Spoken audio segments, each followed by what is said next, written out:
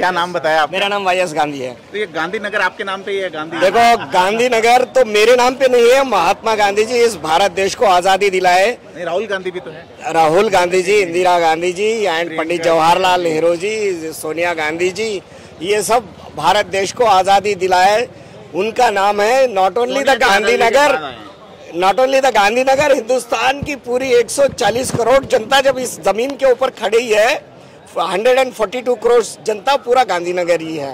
ये बीजेपी का कुछ नहीं होता ये तो देश के जनता को बीजेपी कभी देश के जनता को और कर्नाटक के जनता को कितना प्यार करती है। कांग्रेस पार्टी ने कितना डेवलपमेंट कर चुकी है।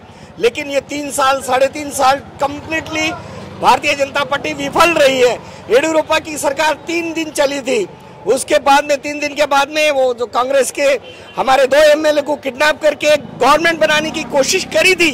येडियुरप्पा ने लेकिन पॉसिबल हो चुका है। उसके बाद में जेडीएस से नाता अलायंस लेने के बाद में जेडीएस को हम मुख्यमंत्री बनाया हाईकमांड ने।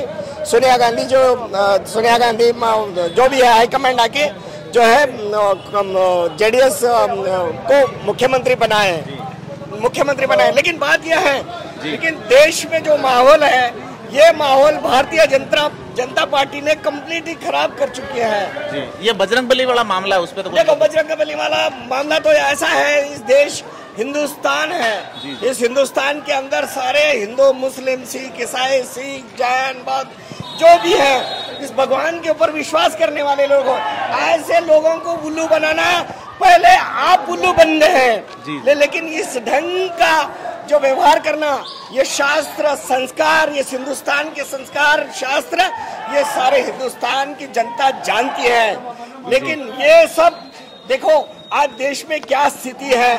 कोविड 19 के ऊपर भी उल्लू बनाए नोटबंदी के टाइम पे भी उल्लू बनाए कोविड 19 19 जब कोविड 19 जब हिंदुस्तान में आया है तो देश सत्रह साल पीछे चले गया।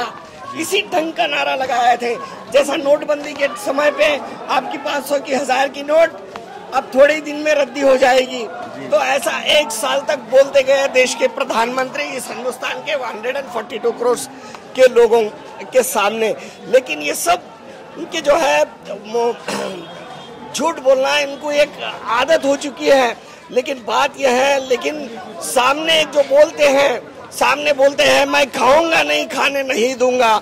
और पर्दे के पीछे जितना फ्रॉड किया गया है इस हिंदुस्तान के अंदर, इस धरती के अंदर, एक सोचने की बात है, जेडीएस जब गवर्नमेंट थी, भारतीय जनता पार्टी हिंदुस्तान के अंदर राज कर रही, जेडीएस इस कर्नाटक के अंदर राज कर रही, लेकिन जेडीएस के बाद में जो कोविड 19 आया है, बीजेपी राज कर रही है।